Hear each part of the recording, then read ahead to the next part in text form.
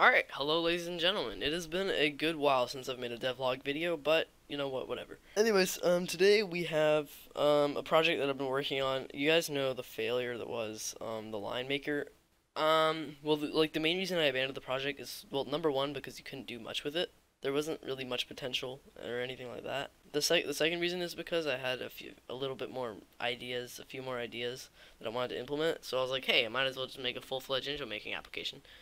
Um, so yeah, uh, this is this is Intro Maker. It's not really like After Effects. Its goal is to make intro making as easy and fast as possible, and uh, it does a pretty good job of it so far. But it's just it's really not powerful in what you can make. You can't choose the background. Can't choose what splines it uses. It auto generates those randomly.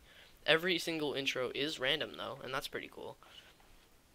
Um, I've been playing around with it for the past few weeks and improving it and things like that. But I think it's finally like stable enough to put on your, you know, to release to you guys. So uh, here it is. I've been working on the UI a good bit. It looks, it actually looks pretty nice. By the way, if you want this, if you want the font, just download the Uni Sans font. It works great.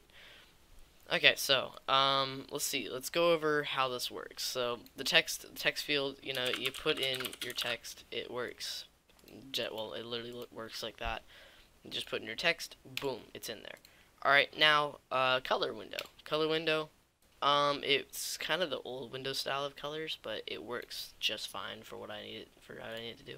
So let's say we wanted a mm, pink, no, red intro. Let's say we wanted a red intro, right? Select red, press OK changes the but wait a minute Luke I don't like this font this font doo doo so you hit font you know you can change the font as well which is um, my, my favorite font because it it took me a long time to make um, working like text generation but hey it looks good.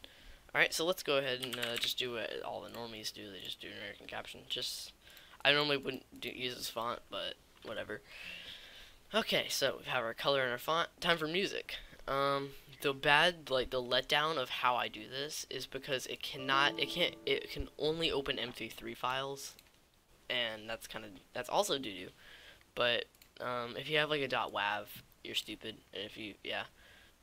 So um, let's just do um, sure, yeah, this is a good song. Alright, let's go ahead and import it in, and now we have our, uh, you know, all the stuff imported, and it's ready, we are ready to render, so let's just go ahead and hit that, um, it will say this. And it, it freezes a lot here, so I'm going to see you guys when that's finished. Okay, I took a few attempts, but we are now, it's now done. Again, super unstable, and I really didn't want to release this to you guys, so yeah. Um, it may take you a few tries to run the application, obviously, because, again, unstable. Um, also make sure to run it as administrator. If you do not run it as administrator, it ain't gonna work. Okay, so, the thing is finished now, and it usually outputs the documents, and the file name is whatever text you put. So let's see if we go over here, documents. Um, okay, uh, yeah, here it is. Oops, yeah, here it is right here. So it is, yeah, as you can see, it's the same text that I inputted. You can, you know, run it.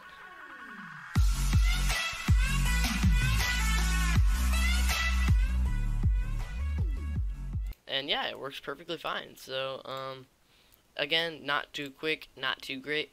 The download is in the description if you want to try it. Um, but then again, super. Just keep in mind that it's unstable. It's still an alpha, and um, yeah. But I'm going to keep you guys updated um, in some devlog videos on this channel.